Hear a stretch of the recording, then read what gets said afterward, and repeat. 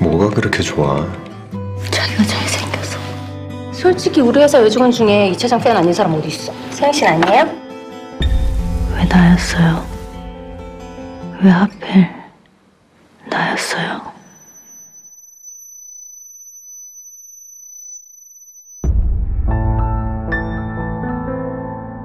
귀에서 이상한 소리도 들리는 것 같고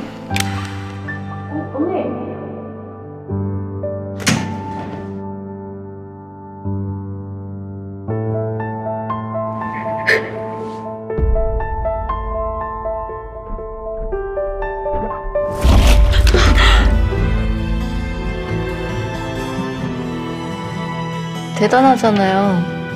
저렇게 위험하고 높은 데서 일할 수 있다는 게. 데려가줘요. 저 밑으로. 부탁이에요. 요즘 나한테 왜 그래요? 기다릴게. 기다리지 마. 뭘, 뭘 말씀이세요? 재계약.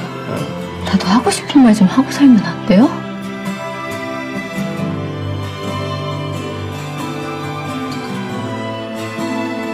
괜찮아요.